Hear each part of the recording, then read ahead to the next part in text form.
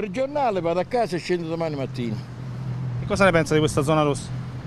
Se è necessario bisogna farlo, ma seriamente, no così. Noi non siamo attenti a rispettare tutte le regole e questa è la conseguenza, perché se avessimo rispettato le regole dalla A alla Z non c'era bisogno di rosse, verde o gialle, ma bensì si sarebbe già debellato la situazione. Bisognerebbe uscire col, con l'autocertificazione, lei ce l'ha se la dovessero fermare? No, no, non ce l'ho l'autocertificazione. Beh, eh, ovviamente si sente che manca la libertà, tutto è chiuso. Ce l'ha l'autocertificazione se la dovessero richiedere? No, non ce l'ho perché chi le vende, chi io sono molto arrabbiata.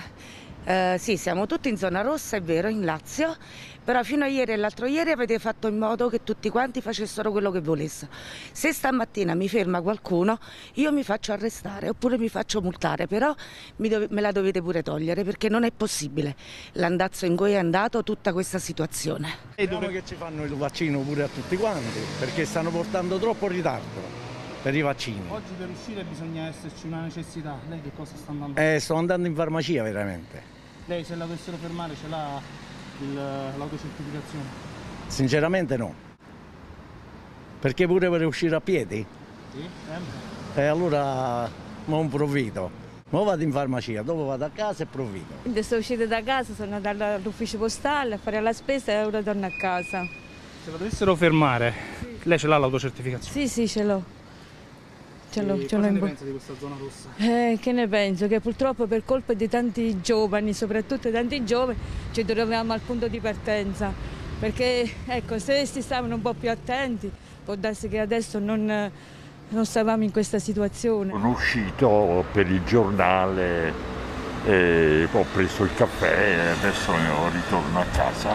E ho la certificazione in tasca andato a fare un acquisto, poi ho giocato il Super Enalotto e adesso mi sto riposando un poco e poi ritorno a casa. Dieci giorni di zona rossa forse porteranno dei benefici perché i giovani sono quelli che sono disattenti a questo Covid. Com'è andata questa mattina di primo giorno di zona rossa? Beh, per adesso devo dire complice anche la bella giornata che eh, un po' di persone ci sono in giro.